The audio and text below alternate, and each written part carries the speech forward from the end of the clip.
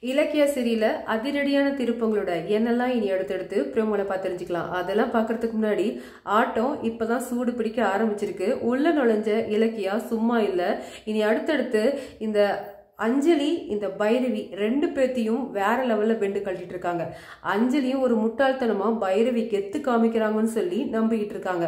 இங்க ரொம்பவே அதை பாலிஷ் பண்ணிக்கிட்டு மெயின்டைன் பண்ணிட்டு இருக்காங்க இந்த பைரவின்னு சொல்லலாம். அதெல்லாம் மனசுல வச்சுக்கிட்டு மறுபடியும் இந்த இலக்கியா கிட்ட போய் இந்த அஞ்சலி சவால் விட ஆரம்பிக்கிறாங்க.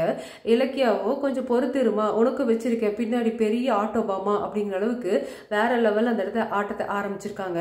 போல நம்ம கௌதமும் நம்ம இலக்கியாவும் சரி அவங்க பெட்ரூமை அவங்களுக்குள்ள அவங்க நீட்டாக பண்ணிக்கிறதும் ரொம்பவே வந்து ரூம் சூப்பராக இருக்குல்ல? அழகாக பண்ணியிருக்காங்கல்ல? நம்ம வருவான்னு நினச்சி அத்தை ரெடி பண்ணியிருக்காங்க அப்படிங்கிற அளவுக்கு அவங்க ஒரு பெரிய சந்தோஷத்தை அவங்க வந்து கொண்டாட போகிறாங்க இதுக்கு நடுவில் ஆஃபீஸ்க்கு கௌதம் போவாரா இல்லையா? என்ன நடக்க போகுது? கௌதம் சொன்னது என்னென்னா முதல்ல அந்த வீட்டுக்குள்ளே போகலாம் அப்புறம் ஆஃபீஸ்க்கு போகலாமா இல்லையா? யோசிக்கிறேன் அப்படிங்கிற மாதிரி சொல்லியிருக்காங்க.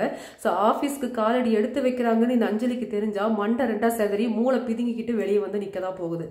இங்கே நம்ம பைரவியை சமைக்க சொல்லி நம்மளுடைய ஜானகியமோ உத்தரவு கொடுக்குறாங்க. அதாவது கௌதம் உனக்கு என்னெல்லாம் பிடிக்கும் அப்படின்னு சொல்லி நம்ம பைரவி கேட்க போய் ஒரு பெரிய லிஸ்டா கொடுத்து அந்த விஷயம் அந்த வேலையை அந்த சமையல பைரவி உங்களுக்காக அவங்க கையில் செஞ்சு கொடுக்க போகிறாங்கன்னு சொல்ல போகிறாங்க ஆனால் பைரவியை ரொம்ப நாளைக்கு அந்த மொபைலை வச்சு மெயின்டைன் பண்ணிட்டு இருக்க முடியாது.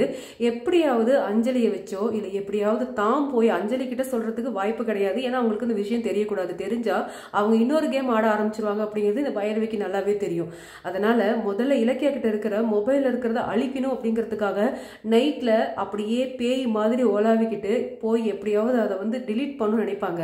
ஆனா இலக்கிய அந்த மொபைலில் மட்டும் தான் வச்சிருக்காங்களா? இன்னும் வேற இடத்துல சேவ் பண்ணி வச்சிருக்காங்களா? அப்படிங்கிற ஒரு பெரிய வெடி பைரவி தலையில போட்டு வெடிக்க காத்துக்கிட்டே இருக்காங்க. இனி பைரவியும் அஞ்சலியும் இனி அந்த வீட்டுல வேற லெவலா வந்து திண்டாட போகிறதான் போறாங்க. அடுத்தடுத்து பரபரப்பான சுவாரஸ்யம் நம்ம கௌதம் ஆபீஸ்க்கு போய் இந்த எஸ்எஸ்கேவையும் அப்படியே மூளை புதுங்கி நிக்கிறதும் இன்னொரு பக்கம் அஞ்சலி திணறி போய் நிக்கிறதும் பேச்சு மூச்சு இல்லாம அப்படியே ஸ்டன் நிற்கிற நிக்கிற அந்த சுவாரஸ்யத்தை பார்க்கணுமா? சப்ஸ்கிரைப் பண்ணிக்கோங்க.